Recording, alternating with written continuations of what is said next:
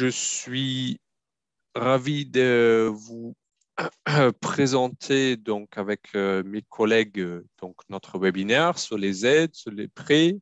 Ça, c'est le sommaire. Et on va tout d'abord, avant de commencer, je vous rappelle que sur toutes les questions de la rénovation énergétique aujourd'hui, on est joignable directement sur une seule numéro, sur la métropole, si vous vivez euh, sur le territoire de la métropole Aix-Marseille-Provence. Et donc, bah, je me présente. Je suis Johannes Schonk, conseiller énergie de la Maison Énergie, et aujourd'hui, ce soir, accompagné par mes deux collègues de l'ALEC et de l'ADIL. Je vous laisse présenter. Bonjour, je suis Shakti Maria Chali de l'Agence locale de l'énergie du climat de Marseille.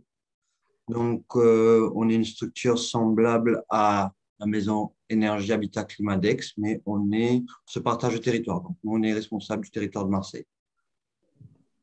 Alors, bonjour, Anna Penchaban de l'ADIL des Bouches-du-Rhône. Je suis, euh, pour ma part, juriste à l'ADIL. Euh, voilà.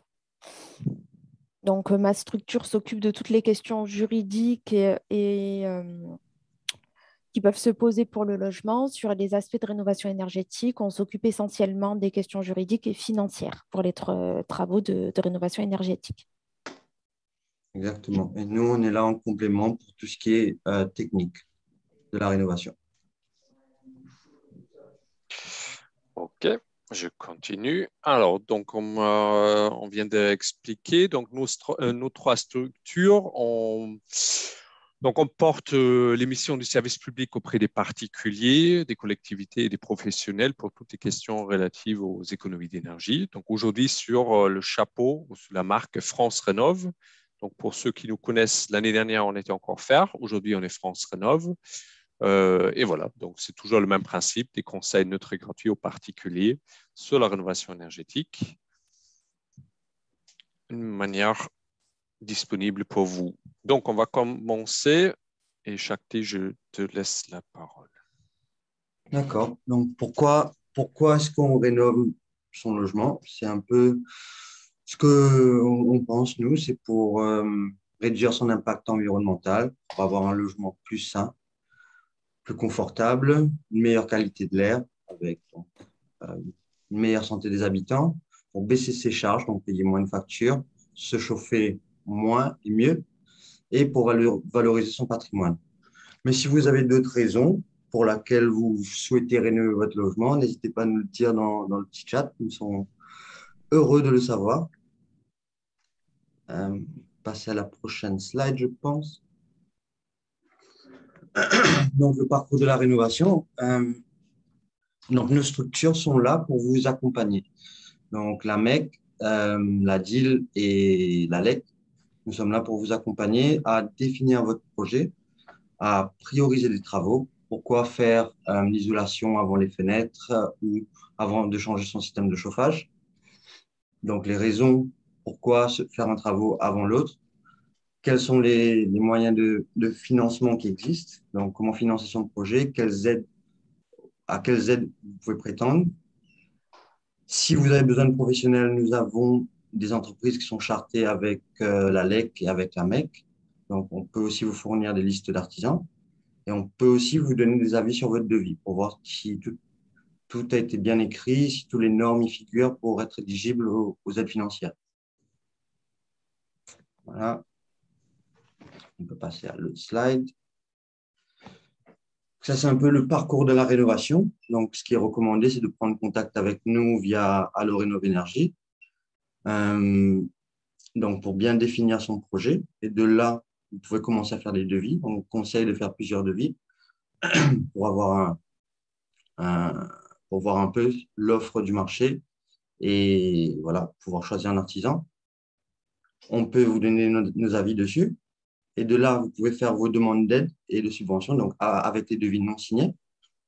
D'accord Vous attendez les réponses. Et là, on conseille que vous pouvez lancer vos travaux après la réception de. Non, là, c'est le, truc.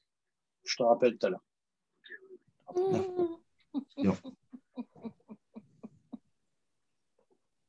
Donc, où est-ce que j'étais? Donc, euh, donc, vous faites vos devis, vous effectuez vos demandes d'aide Une fois les, demandes acceptées, vous pouvez lancer vos travaux et démarrer vos travaux. Et à la fin de vos travaux, avec la facture, vous déposez la facture pour recevoir les aides. D'accord? On peut passer à la prochaine slide peut-être. Et les aides financières. Anna, tu veux continuer? Alors, euh, sur les aides financières, euh, ce qu'il faut savoir, c'est que les aides financières elles se décomposent en plusieurs strates. Donc, vous allez avoir le niveau national, le niveau régional, le niveau départemental et puis au niveau euh, local. Donc, chacune des aides prévoit des critères d'éligibilité qui leur sont propres. C'est donc l'objet de, nos développements aujourd'hui, en tout cas de, de ma partie. Donc, nous allons commencer avec les aides nationales, qui sont donc des aides délivrées par l'ANA. L'ANA est l'Agence nationale d'amélioration de l'habitat et il s'agit d'un établissement public qui délivre des subventions également pour la rénovation énergétique. Donc, on va passer à la slide suivante pour, pour commencer. Alors, il existe pour ce type de travaux deux types d'aides qui répondent à des critères qui leur sont propres aussi. Donc, le premier critère, et pas des moindres, est celui des ressources. Les plafonds sont indiqués sur la slide que vous avez sous les yeux. le plafond, il varie en fonction du nombre de personnes qui composent le ménage.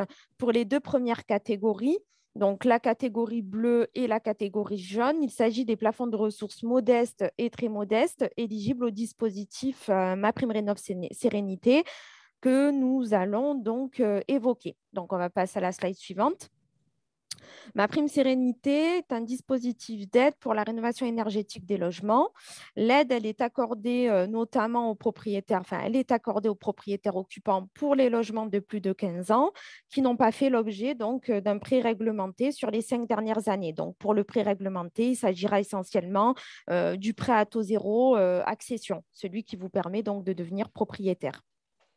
Les travaux de rénovation énergétique pour cette aide doivent permettre un gain énergétique de 35% et ces travaux devront être réalisés par une entreprise RGE. Le montant de la prime s'exprime en pourcentage sur le montant des travaux hors taxe et il varie selon que le ménage est réputé être un ménage modeste ou très modeste. Le pourcentage, il est de 35% pour les ménages aux ressources modestes et il est de 50% pour les ménages aux ressources très modestes. Les pourcentages peuvent être euh, augmentés euh, sur certains secteurs. C'est le cas euh, au sein de la métropole donc la, métropole Aix-Marseille-Provence, où il est porté à 60% euh, pour les ménages aux ressources très modestes et 45% pour les ménages aux ressources modestes. Donc, à cette aide, à cette prime, va s'ajouter une prime sérénité d'un montant de 10% sur le montant des travaux. Et cette prime, elle va être plafonnée selon à 2 000 ou 3 000 euros, donc selon le, que le ménage est considéré comme un ménage modeste ou très modeste. Des bonus euh, d'un montant de 1500 euros sont également prévus. Euh, donc ça, c'est pour euh, les projets qui permettent d'atteindre une étiquette A ou B ou pour ceux qui, pour, les logements énergivores, dont les travaux permettent d'atteindre une, étiquette énergétique au moins AE. Donc, on va placer euh, à la slide euh, suivante. Il existe également une autre aide de l'ANA pour les travaux de rénovation énergétique qui s'appelle MaPrimeRénov, mais euh, qui est MaPrimeRénov classique, pas MaPrimeRénov Sérénité. Cette prime, elle sera conseillée pour notamment les propriétaires occupants et propriétaires bailleurs aux revenus supérieurs aux deux catégories qu'on a vues, donc les catégories bleues ou jaunes, ou alors pour tous les autres ménages qui sont engagés dans un projet de rénovation énergétique, mais qui ne permettent pas d'atteindre un, gain énergétique de 35%. Ma prime rénov, elle concerne les propriétaires occupants, euh, également aussi les propriétaires bailleurs de résidence principale, achevées depuis au moins 15 ans. Les primes, elles sont forfaitaires et dégressives selon les ressources. Donc, vous avez une liste exhaustive de travaux éligibles qui existent. Ça veut dire que seuls les travaux qui figurent sur cette liste vont être, euh, vont être éligibles à l'aide. Donc, on va passer à, la slide suivante. Euh, donc, seuls les travaux individuels sont éligibles au titre de ma prime rénov, euh, c'est-à-dire par travaux individuels, on entend par là les travaux euh, qui concernent uniquement le logement, donc pas les travaux en partie commune. Donc, vous, comme c'est présenté sur la slide, donc, ça va concerner plusieurs types de travaux, les équipements, l'enveloppe, tout ce qui concerne l'isolation.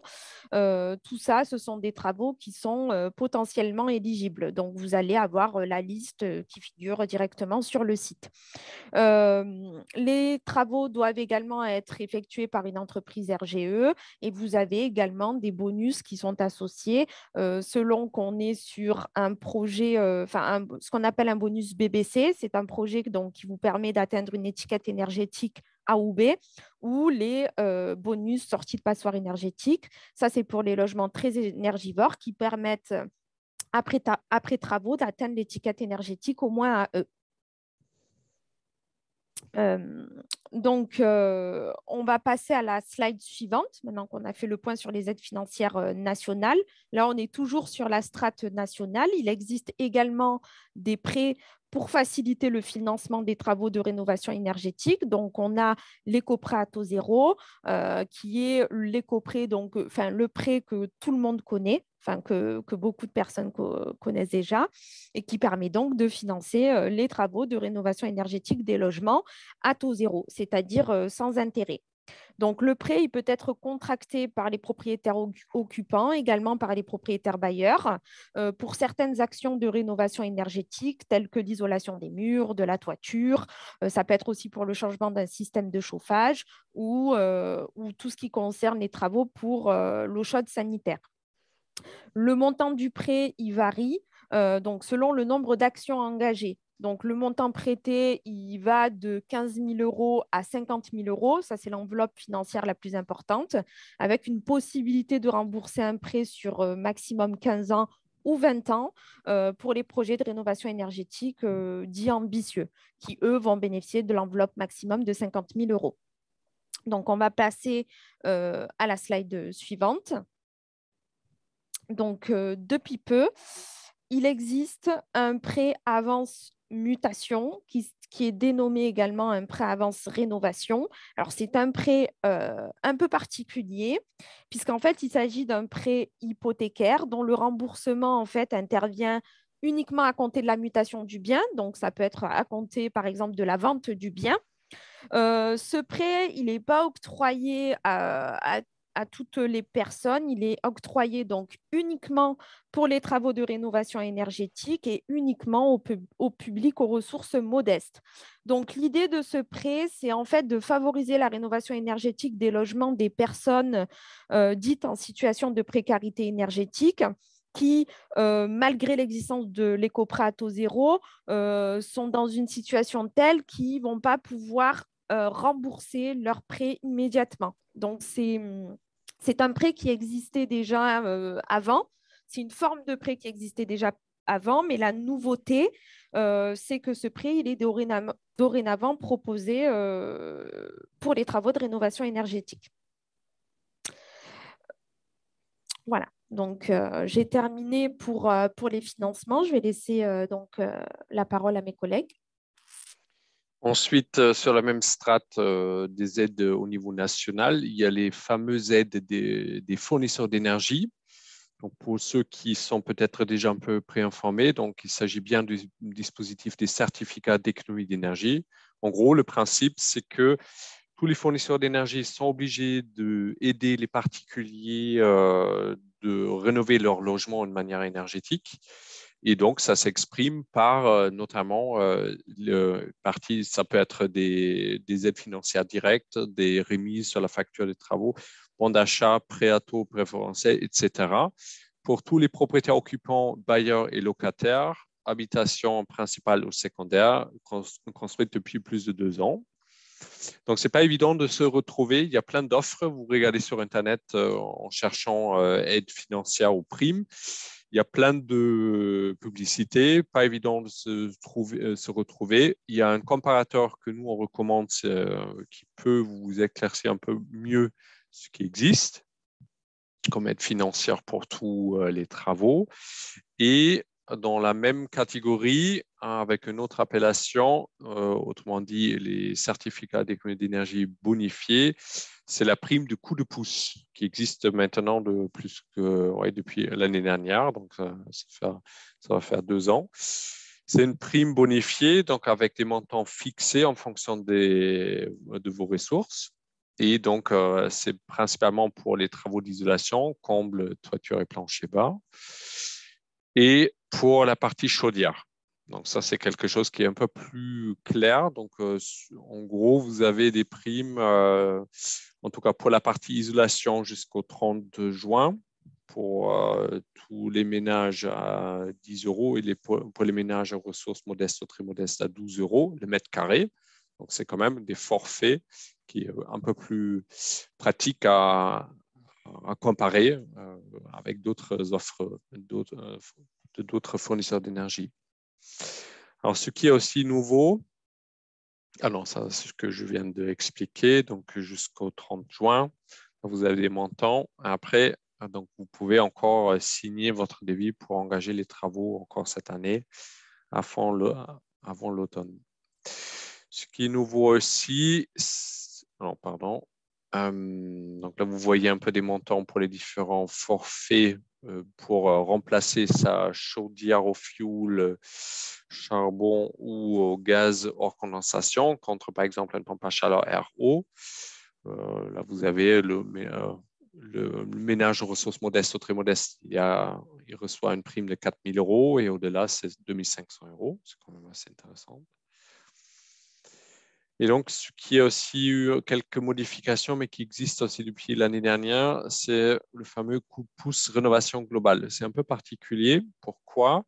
Parce que vous devrez réaliser une gain énergétique d'au moins 55% Donc, qui détermine si vous avez droit à cette coup de pouce, ben, vous, êtes censé de faire appel à un bureau d'études pour obtenir un audit énergétique qui vous détermine déjà la, la classe énergétique de votre maison aujourd'hui et ensuite qui vous dit ce qu'il faut faire pour obtenir donc les 55% gain énergétique.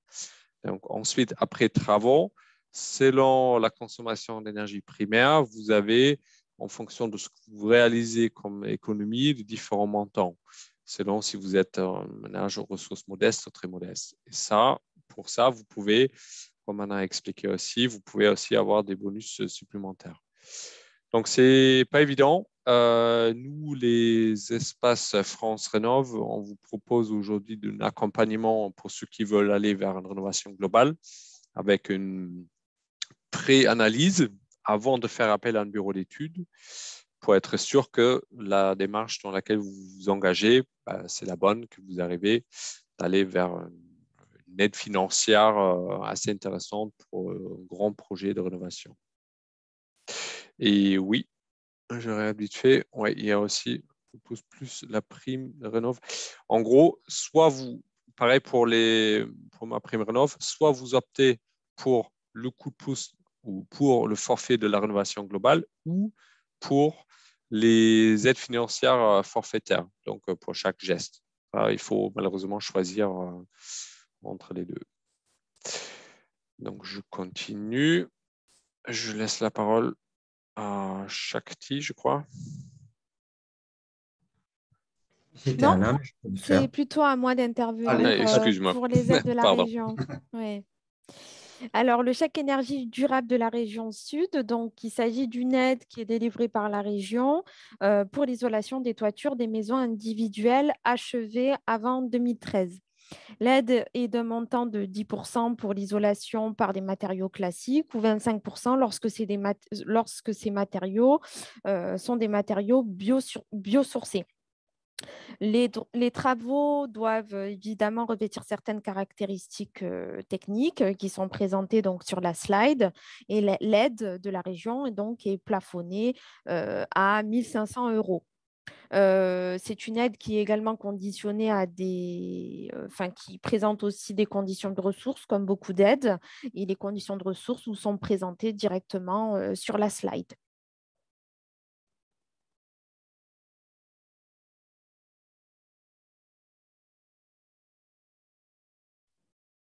Donc, Ouais, moi, j'ai terminé pour, euh, Ouais. pour la région. pour la région. Juste, euh, je, je me permets de préciser, je, je le montre aussi, le, le critère de performance, elle est un peu légèrement au-dessus de ce qui est normalement euh, standard pour les aides financières.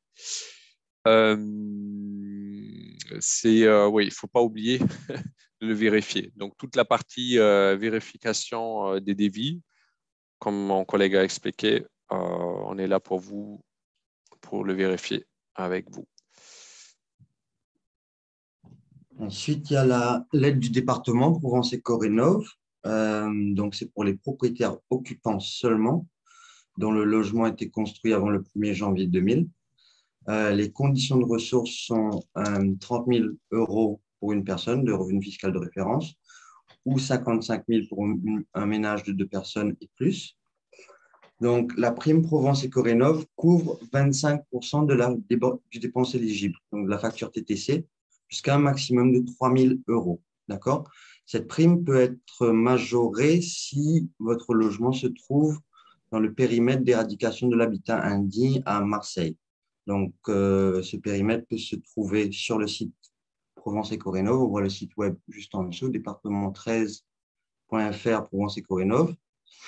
Et donc, quels sont les travaux éligibles? C'est le chauffage, l'eau chaude sanitaire, euh, l'isolation, donc tous les postes d'isolation, murs, euh, toiture, fenêtres, toiture terrasse, euh, fenêtres. Les fenêtres sont éligibles s'ils sont accompagnés d'un autre poste de travaux. Seulement les fenêtres ne sont pas éligibles, mais si vous faites les fenêtres et l'isolation, vous pouvez être éligible à l'aide Provence Corénov. Par exemple, vous pouvez faire, aussi faire les fenêtres et l'eau chaude sanitaire ou le chauffage. D'accord? Et ils prennent aussi en charge la VMC simple flux et double flux, tandis que ma prime rénov ne prend pas en considération la VMC simple flux.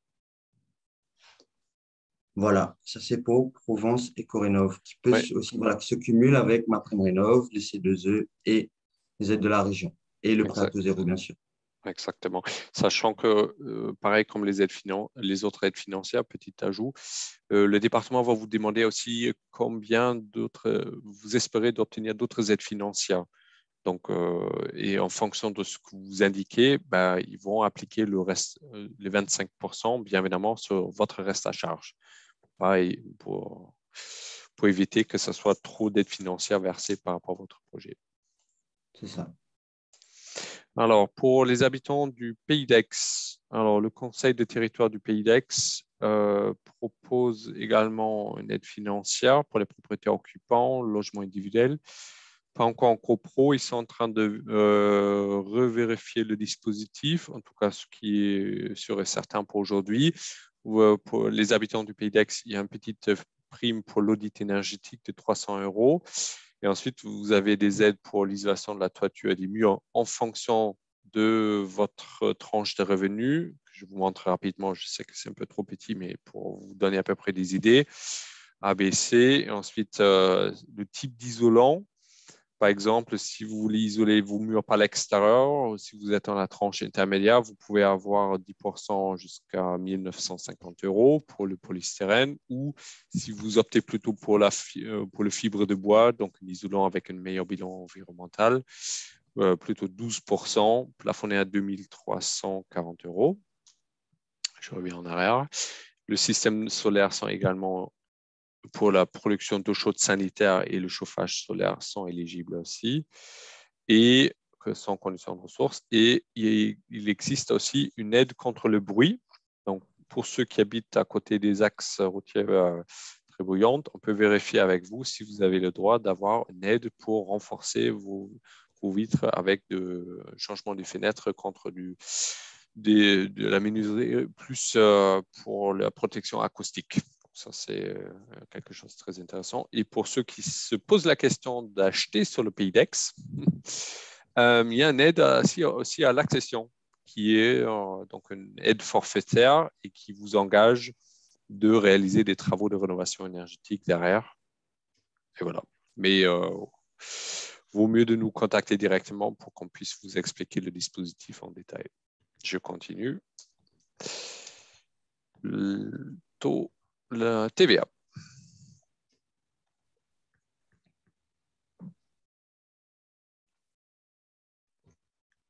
C'est à moi ou c'est à...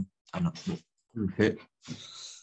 Donc, euh, pour tous les travaux de rénovation énergétique, il y a directement une TVA de 5,5% qui s'applique sur vos devis et donc sur vos, sur vos factures. Donc, euh, tout, le monde est, éligible à cette euh, aide fiscale. Donc, les propriétaires occupants, les propriétaires bailleurs, les syndicats de copropriété, etc. Donc, pour quel logement? C'est un c'est pas pour un logement neuf, mais pour un logement achevé depuis plus de deux ans. D'accord? Et c'est aussi accessible en tant que résidence principale ou résidence secondaire. Euh, si vous allez sur Google, vous tapez la TVA 5,5, vous allez voir tous les travaux qui sont éligibles sur le site du gouvernement, sur le site des impôts. Là, c'est un lien un peu compliqué, mais voilà. Vous allez sur Google, sur le site des impôts, vous allez trouver toute la liste euh, des travaux éligibles à, à 5,5%. Voilà, je pense qu'on peut passer à une autre slide. Euh, les autres aides qui existent, donc vous pouvez aussi avoir un prêt de la part de la CAF sous certaines conditions euh, pour les travaux de rénovation énergétique. Pour les personnes retraitées, vous pouvez aussi vous faire aider, accompagner par vos caisses de retraite pour vos travaux de rénovation énergétique, donc chauffage, isolation. Euh, et dépendant où vous habitez, il y a certaines communes qui ont des aides pour leurs habitants. Donc, ça, c'est au cas par cas. Donc, euh, la meilleure chose à faire, c'est d'appeler le numéro unique pour vous faire accompagner dans votre projet et pour avoir un meilleur conseil autour des aides qui sont applicables pour vous. Donc voilà, encore une fois, le numéro à, à garder en tête, c'est Alorinov Énergie si vous êtes dans le 13.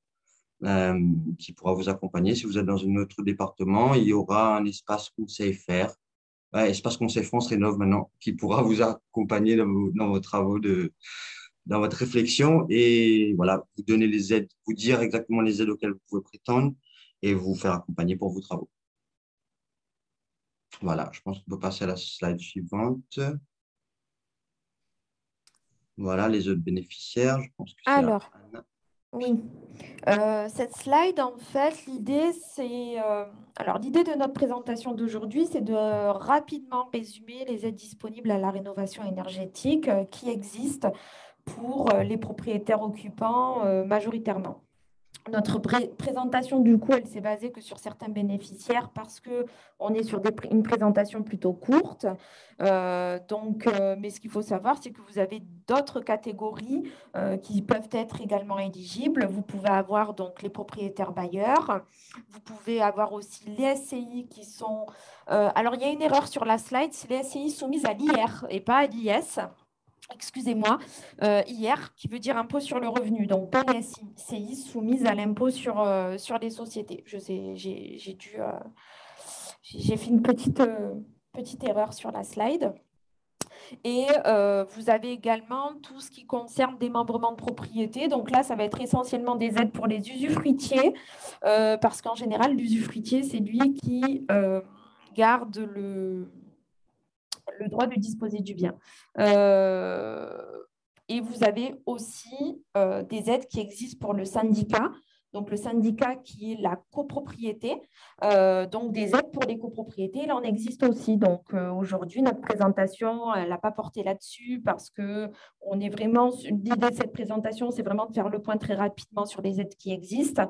Mais justement, voilà, il y a d'autres, il y a d'autres catégories qui sont éligibles. Évidemment, avec certaines conditions qui sont propres à chacune des catégories. Donc, pareil, euh, euh, l'idée, voilà, c'est d'appeler à l'Orénov Énergie, puis en fonction de votre situation, on vous orientera pour votre projet.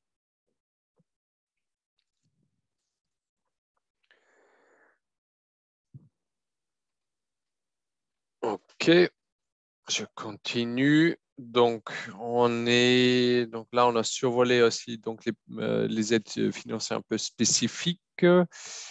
Je vois, il y a quelques questions qui se posent aussi sur le chat. Alors, le cumul des aides financières, comme on a expliqué, donc euh, certaines aides financières sont cumulables, d'autres pas.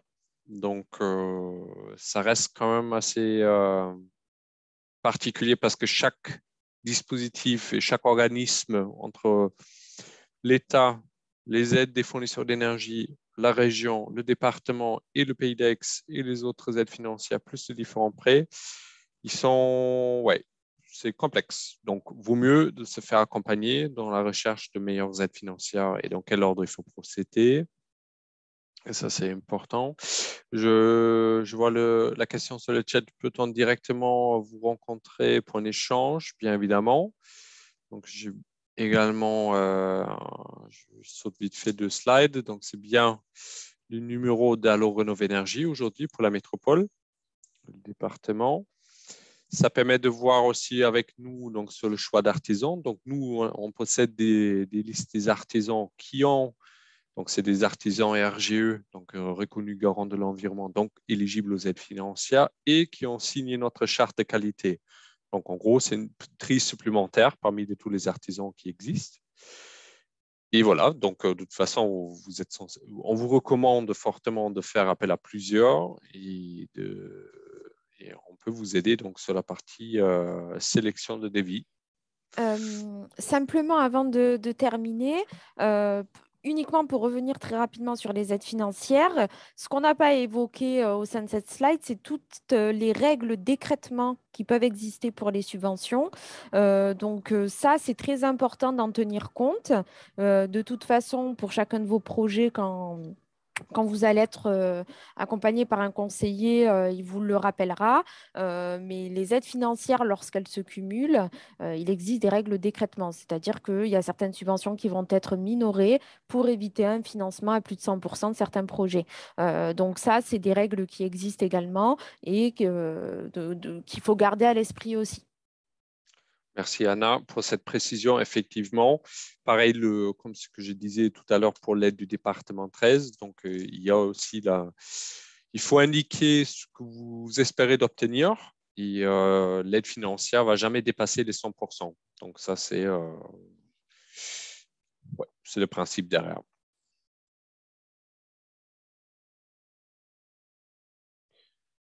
Alors, il y a encore des questions un peu spécifiques sur le chat.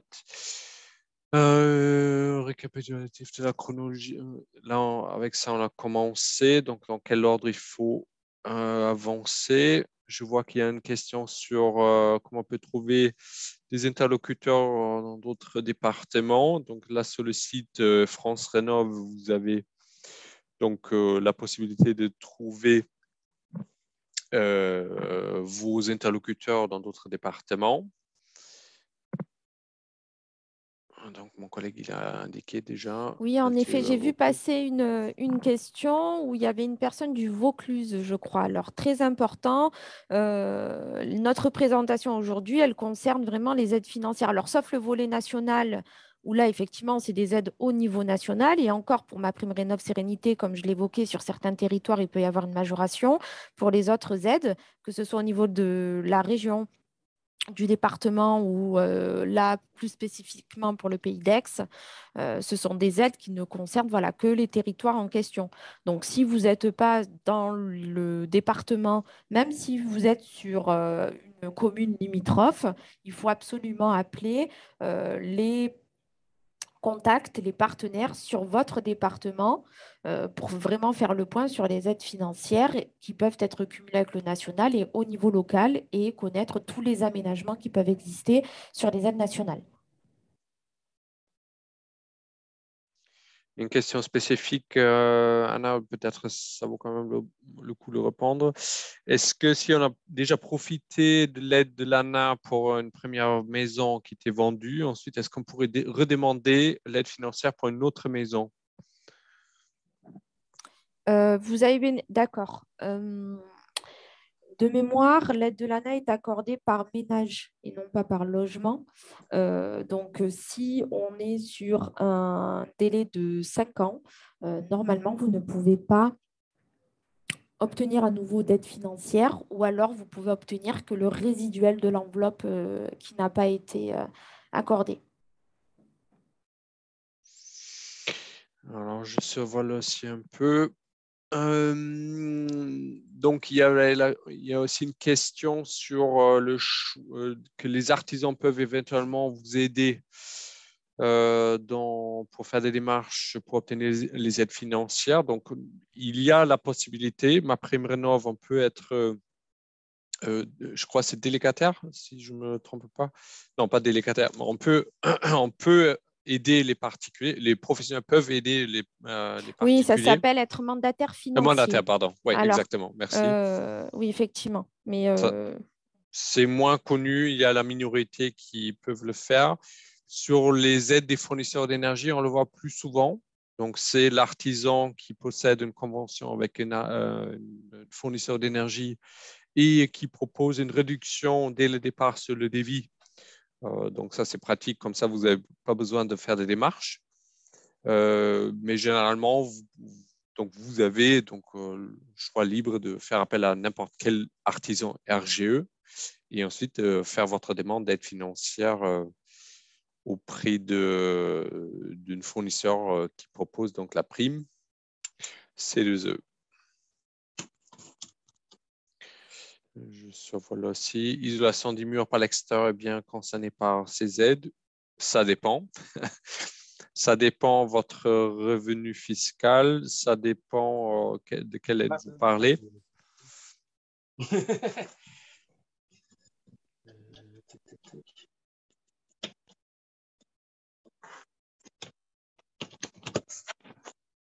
Après, Et quels sont les, délais d'instruction des demandes de ma prime rénov et ma prime rénov sérénité? Alors, pour ma prime rénov sérénité, euh, ça peut prendre un certain temps. Euh, on, a, on est sur des délais d'instruction qui sont beaucoup plus longs que ma prime rénov classique. Ma prime rénov classique, euh, de mémoire, c'était deux semaines. Il s'était engagé au départ à instruire les demandes au bout de deux semaines, enfin en deux semaines, à la condition qu'on soit sur un dossier complet, évidemment.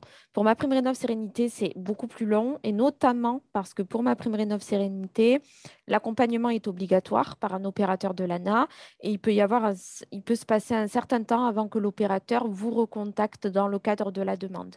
Donc, pour ma prime Rénov Sérénité, c'est un peu plus long effectivement des démarches un peu plus longues parce que pour sérénité, donc il faut faire l'étude thermique de votre logement, recommandations, choix de l'artisan. Tout ça, ça va prendre un peu plus de temps.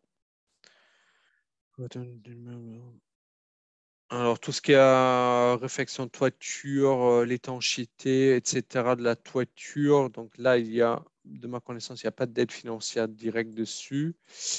Mais pour la partie euh, isolation, donc, si vous avez par exemple une toit avec des fuites euh, et que vous comptez de euh, réparer la toiture et de profiter de remettre l'isolation, bah, dans ce cas-là, l'aide financière est censée de couvrir que la partie isolation. Alors, euh, moi, juste petite précision. vous précisez, alors j'essaie de retrouver votre question, qu'il s'agit d'un immeuble de rendement. Petite précision, ah. notre, notre euh, intervention d'aujourd'hui concerne, et c'est pour ça que j'ai beaucoup parlé de résidence principale et d'habitation, les aides financières que notre présentation, en tout cas d'aujourd'hui, elle concerne uniquement les, euh, les logements. Les logements. Euh, donc, par logement, on entend habitation qu'est-ce que vous, si par immeuble de rendement, vous entendez qu'il s'agit d'un immeuble que vous avez acheté et que, vous mettez en location, il peut y avoir des aides, oui, mais ça va être très spécifique. Est-ce que, voilà, j'espère avoir été clair?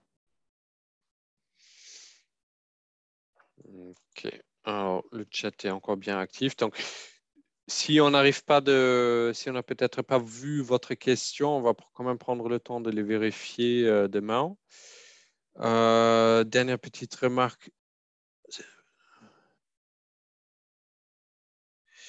Voilà, il y a beaucoup de questions.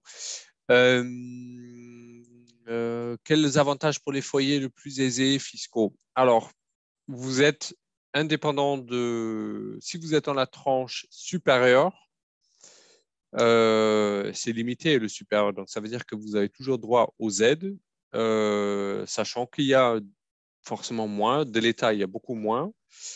Même, mais l'État propose quand même aussi euh, le coup de pouce, autrement dit.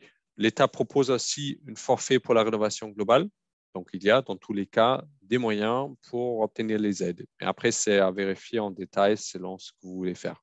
C'est pas évident, hein. pas facile à répondre comme ça.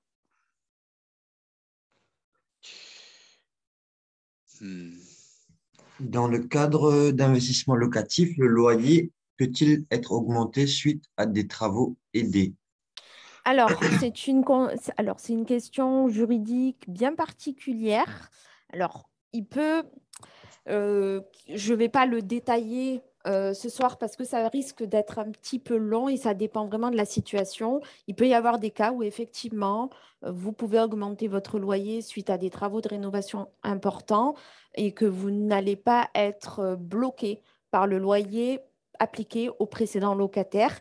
Il y a plein de conditions, enfin, c'est des situations bien particulières. Je vous invite à contacter la DIL directement pour avoir un juriste pour que vous puissiez donc euh, évoquer votre situation et qu'on vous explique euh, ce que vous pouvez augmenter et surtout à combien vous pouvez augmenter, puisque pour l'augmentation des loyers, il existe un plafond. Oui, une question, s'il vous plaît. Ah, Allez-y, on vous écoute. Oui, merci. Oui, à quel organisme il faut envoyer euh, les devis pour avis technique? C'est l'un de, de vous trois, je suppose? Exactement, dépendant de, où vous êtes dans la région, on vous conseille d'appeler Allo Rénov Énergie qui va vous mettre en relation avec euh, la structure qui s'occupe de votre région. Par exemple, si vous êtes à Marseille, vous serez contacté par la LEC. Si vous êtes plus dans le pays salonné ou euh, le pays d'Aix, vous allez non, mais je suis à, je suis à côté d'Aix et j'ai déjà fait, j'ai bénéficié donc d'un diagnostic thermique. Donc, est-ce qu'il faut que j'appelle la maison euh, de la énergie. Oui, exactement. Ouais. Un coup de téléphone ou un... Le mieux, c'est que vous contactez le, standard. Si vous appelez demain matin, euh, je vois immédiatement après euh, votre dossier devant, sur mon ordinateur. donc, après, nous, on est trois pour le pays salonné et le pays d'Aix. Donc, si on rappelle, euh, si on rappelle pas tout de suite, c'est parce qu'on est bien occupé actuellement. Oui, oui, je comprends bien. Oui, oui, il y a beaucoup de demandes et merci pour cette réunion. J'ai l'impression que c'est un succès. Merci beaucoup. Mais merci. Donc, euh, alors, là, il est 7h moins quart. On était relativement rapide euh, sur la partie aide financière, quand même un sujet assez particulier. Euh, je propose que je vous laisse encore quelques minutes pour bien noter vos questions si vous avez. Euh, n'hésitez pas demain matin de rappeler à Loreno Énergie pour laisser vos coordonnées si vous avez des questions bien spécifiques ou si vous souhaitez d'être plus accompagné. Nous, on va de toute façon euh, donc répondre à vos questions, préparer le mail, enregistrer le webinaire sur YouTube et de vous envoyer la présentation. Et comme bon, on l'a expliqué plusieurs fois, donc on peut vous accompagner euh, selon l'emploi du projet, soit à distance. On propose aussi des visites à domicile, ça c'est possible aussi. Euh, je me permets aussi une dernière remarque encore. On n'a pas du tout, euh, normalement, si chaque l'a dit, l'idée des aides financières, c'est aussi ben, en fait, vous pouvez faire euh, l'auto-rénovation si vous avez le temps, si vous avez les compétences. Vous regardez sur Internet, vous trouverez plein d'informations. Les aides financières des différentes structures, de l'État, de départements, etc., sont quand même là pour vous encourager de réaliser ce qu'on appelle une rénovation performante. Donc, au lieu de mettre un peu de laine de verre dans les combles, ben, vous êtes censé aujourd'hui, avec les, aides financières, de, de, mettre au moins 30 cm d'épaisseur dans les combles pour les murs, c'est pareil, au moins 10 cm d'épaisseur, de choisir, d'opter pour les appareils de performance, euh, euh, pour des chaudières bien performantes. Donc, tout ça, c'est un peu le principe. Après, on peut le mettre en question. Du coup, il y a des aides financières. Est-ce que ça fait augmenter les prix des interventions? Bon, moi, je ne suis pas là pour répondre à cette question-là.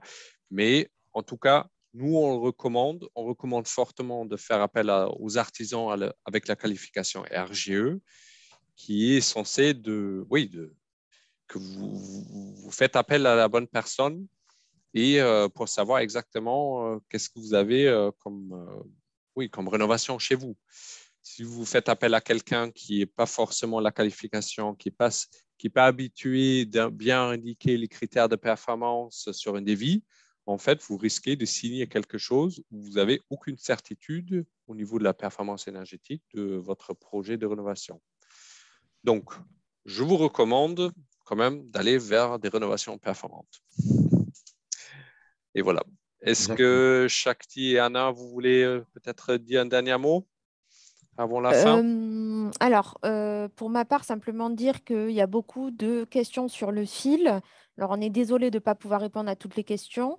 bon, on va essayer d'y répondre ultérieurement. En tout cas, le numéro à l'Orinov il vous permet d'entrer en, contact euh, avec nous. Donc d'abord, vous appelez ce numéro, il y aura une prise d'information qui permettra ensuite euh, derrière aux conseillers, que ce soit les conseillers de la LEG, de la Mèche ou les conseillers de la DIL, euh, de, de, vous répondre très précisément pour votre demande. Donc, n'hésitez pas à appeler le numéro. voilà. Aujourd'hui, c'est vrai qu'on était on est un peu pris par le temps et c'est normal, c'est l'idée d'un webinaire euh, euh, pour euh, quand même garder l'attention de tout le monde. On ne peut pas faire des présentations qui soient hyper longues. C'est ça. Donc, le mieux, ça serait de prendre contact avec Allo Énergie. Donc, je le répète encore une fois. voilà, pour être mieux conseillé avec un conseil adapté à vos besoins. Voilà. Voilà. Bon, bah, je propose qu'on termine ce webinaire. Merci beaucoup pour votre attention. On était nombreux, on était 114 personnes ce soir, donc c'est chouette. Euh, et voilà, donc on reste à votre disposition